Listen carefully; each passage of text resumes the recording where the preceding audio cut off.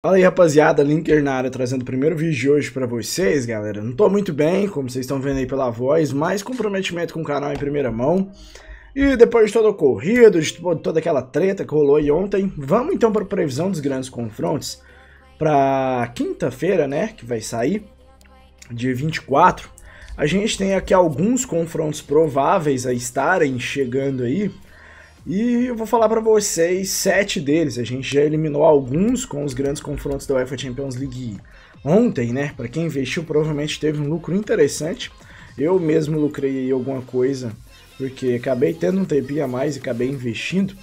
Então vou mostrar para vocês aqui nesse vídeo de hoje, galera, sete confrontos prováveis, tá? Não vou mostrar tantos desses sete que eu acho que a gente vai acertar bastante e a gente vai estar tá mudando a nossa forma de investir. A gente costumava fazer o investimento baseado em cartas ouro. Então, assim, eu vou falar para vocês para a gente fazer o investimento baseado em carta ouro só num confronto maior. Nos outros confrontos a gente vai tentar focar em prata para ver se dá, dá lucro, né? Porque não tem dado lucro até então. Vamos lá então aqui pro, pro mercado de transferências. Minha voz tá, deve estar tá muito triste, cara, na moral. Vamos lá então. Pro cara, pro, pro confronto, né, que eu acho que vai pedir ouro, é esses dois aqui, ó. Vou mostrar pra vocês que vai vir um ou outro. O resto eu acho que pede tudo prata. Vamos lá então, Cautio. A Roma, rapaziada, tá aí a Roma, vai estar tá jogando contra o Milan, tá? Então Roma e Milan. Hoje, no dia de hoje, vocês devem conseguir comprar essas cartas a preço de descarte, principalmente se vem algum Demier aqui, 500 coins, vocês vão conseguir, mano, comprar a preço de descarte. Soltando aqui agora, tem quinta-feira ainda cedinho, vocês vão conseguir pegar a preço de descarte essas cartas. Então vocês vão pegar aqui jogadores da Roma e do Milan a preço de descarte, tá? Vocês vão conseguir.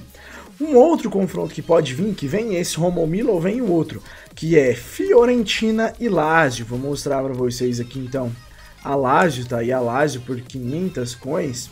Olha aí, 500 coins tem muita, 450, vocês vão conseguir pegar 400 coins, vocês vão conseguir pegar de boa.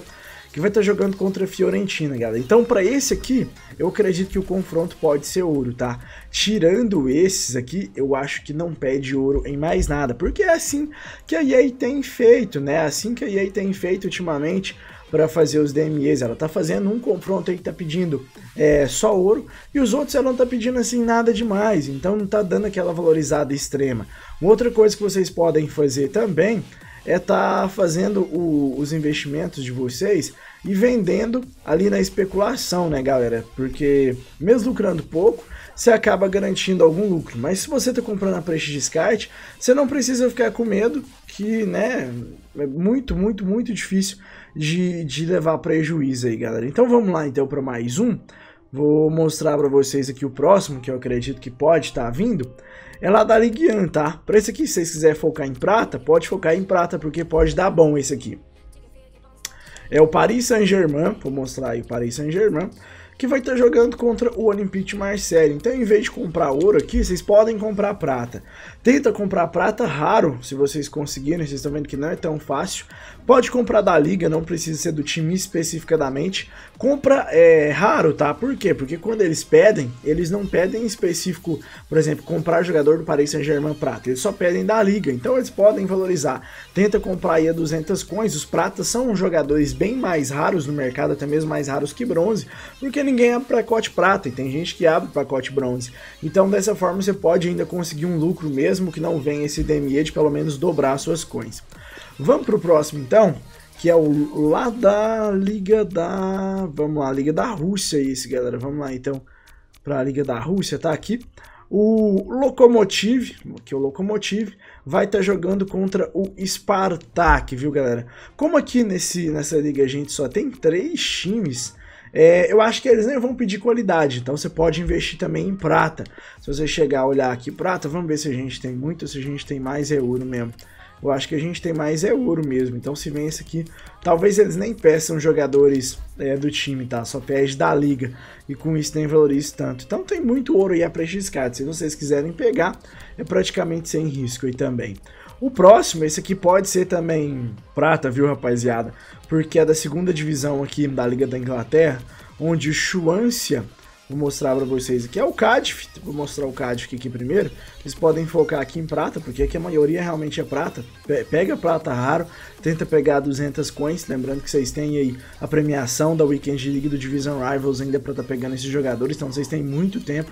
O Cadif vai estar jogando contra o Chuancia. Se por acaso vocês não conseguirem comprar dos times, vocês podem comprar da liga, mas conseguir comprar do time melhor ainda.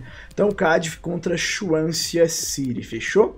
O outro que eu tinha preparado para vocês aqui era o Besiktas contra o Galatasaray, só que já saiu o Galatasaray e Real Madrid, então não vem esse.